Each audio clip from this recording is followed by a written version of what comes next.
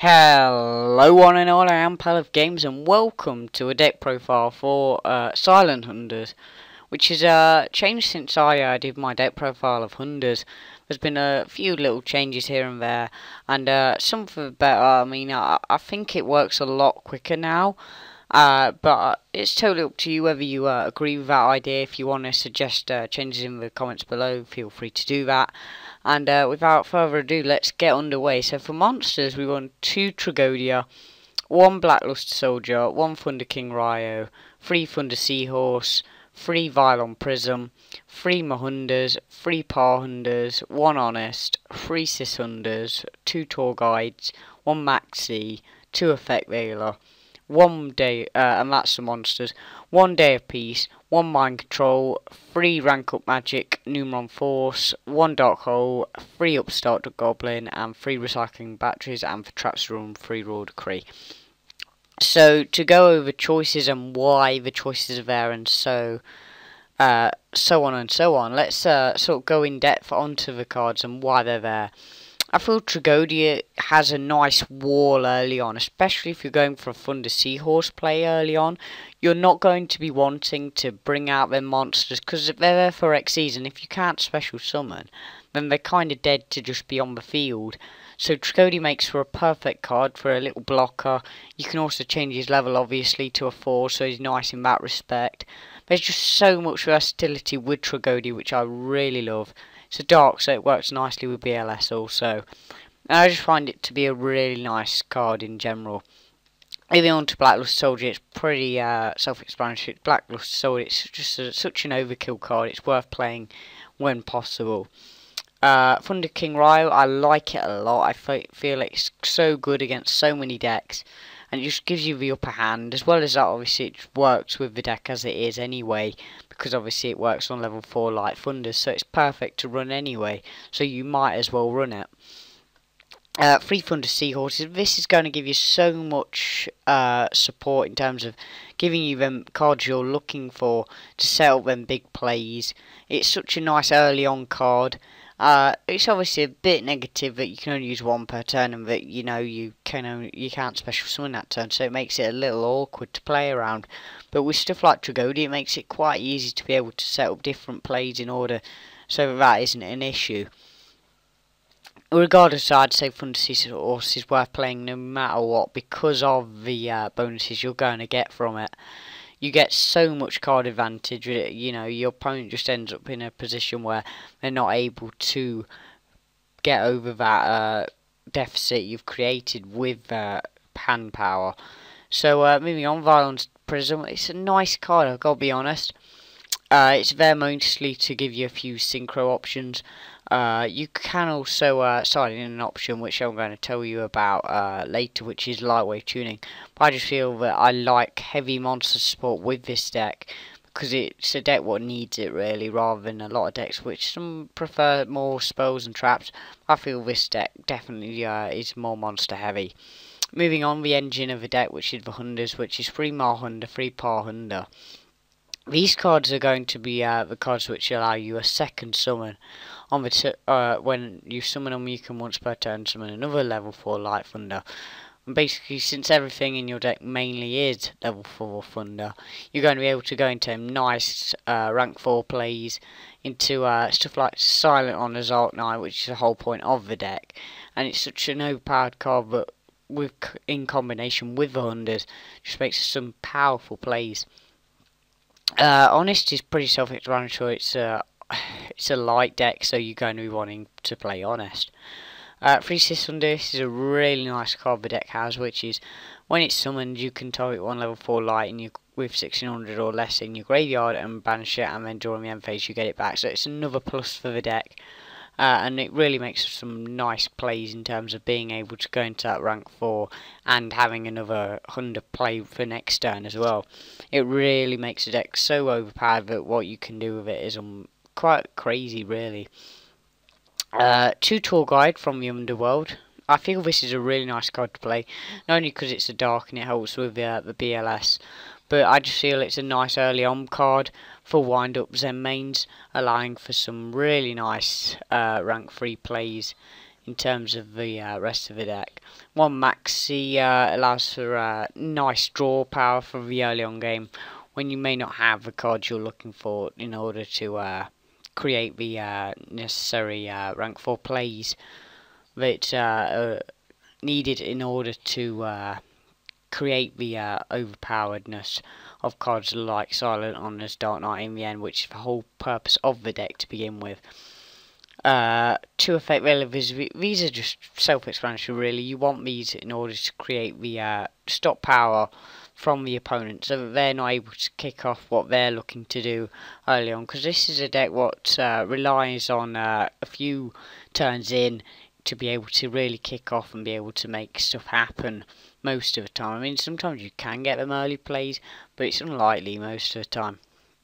Moving on uh, spells, one day of peace. I thought this was just a nice card for the early on game, where you may not have what you want, or you may have just played a Thunder Seahorse, so you're kind of not wanting to sort of uh, play anything because you're just not going to be able to make any big plays. So one peace just made so much sense to me in terms of the draw power. Obviously, your opponent gets draw out, so it's a little negative, but it means that your opponent can't really do anything until your next turn. So it really makes some nice plays in that respect. Uh, mind controller, obviously uh, level four is the uh, most common, I would say, card people are going to have in terms of level monsters. So you're going to want to play it, as well as obviously you can make a huge play and then just mind control their monster so that they're not able to stop the uh, direct attack full game. Free rank up Numeron Forces.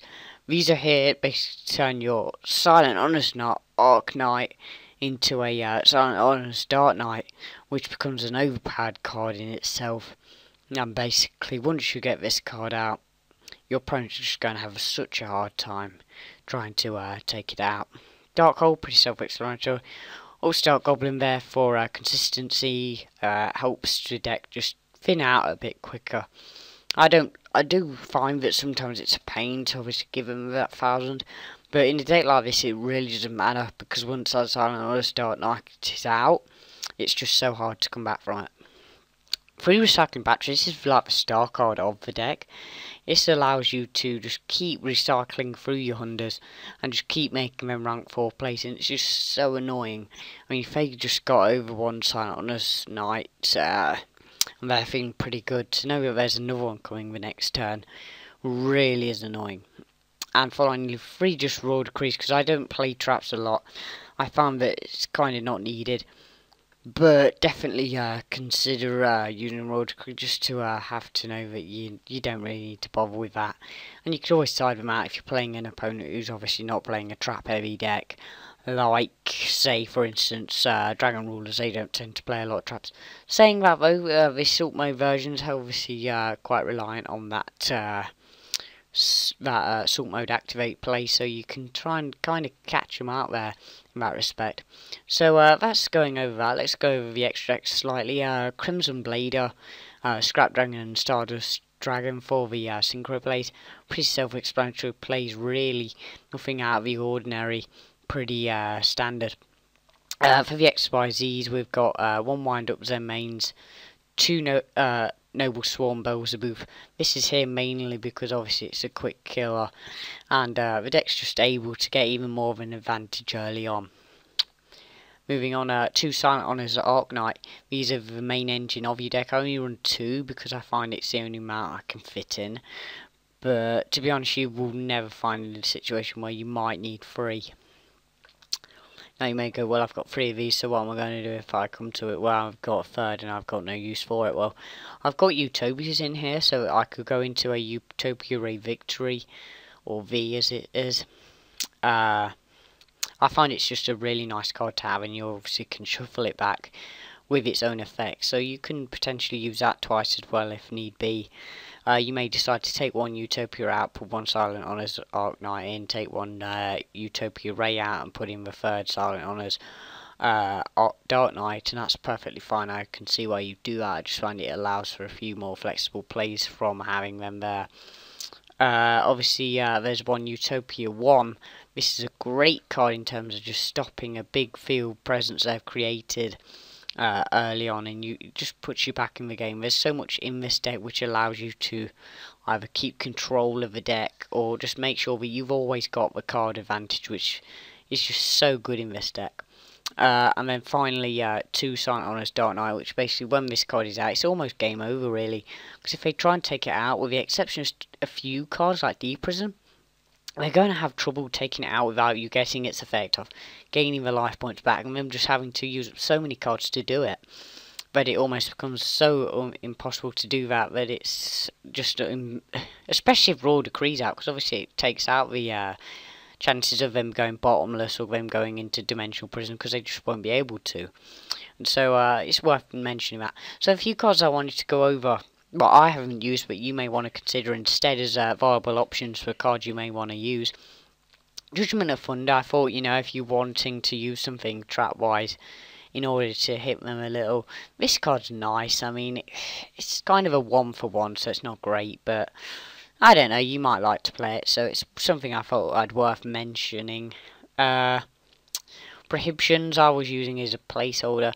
Obviously, they're a nice side card as it is, so you, you might want to keep them in. Uh, Pot of Duality, obviously this works nicely alongside Thunder Seahorses. They make the most of each other in terms of being able to... Uh, so obviously you can't special summon, but obviously having them so doubled up on each other, you know, you get more out of it. I personally don't because I don't like the fact that I can't special summon. And so I want it to a bare minimum. And I can obviously play around a few seahorses here and there. That's not a big issue. But if I've got pots to uh, deal with as well, that can be a bit annoying. So that's why I haven't used it. But I'm personally quite a hater on Pot of Duality. I just don't like the card in general. So that's why I haven't used it. Uh, lightweight tuning, like I said, it's a nice card in terms of giving your deck flexibility into going into more synchro play. If you wanted to play a more synchro heavy uh, so, sort of side deck, uh, extra deck even, then you could definitely use that card instead. Uh, one level 4 monster, uh, rank 4 I should say monster I should uh, mention is, uh, no, I don't even know why this is there, ah, crazy regardless. Uh, Batteryman AA.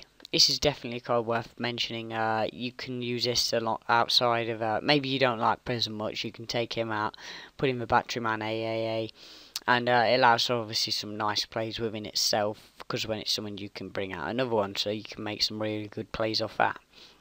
And uh, another one I thought I'd mention was Wat Cobra. You could obviously play Wat Giraffe as well alongside it. It's obviously when it's uh, it can attack directly. When it does attack, you can add one Wat to you, from your deck to your hand. So this card's quite nice in terms of uh, being able to keep that hand support going. Like I said, obviously the main objective of the deck is to uh, go into them rank 4 plays, so that's something to keep in mind. And finally, a Gorz. You might want to play Gorz uh, if you're wanting to uh, give yourself a little more protection when you're wanting to go for them to see uh, horse plays, you may decide to take out uh, the one day of peace instead, or maybe you don't like mind control in this day, that's fine, or maybe even the maxi. I mean, I use one maxi because I just find it works quite nicely within the deck. Uh, search for Silent Hunder's profile. I hope you've uh, liked it. If you have, I would like if you could leave a like or favourite. And uh, other than that, thanks for watching everyone and goodbye.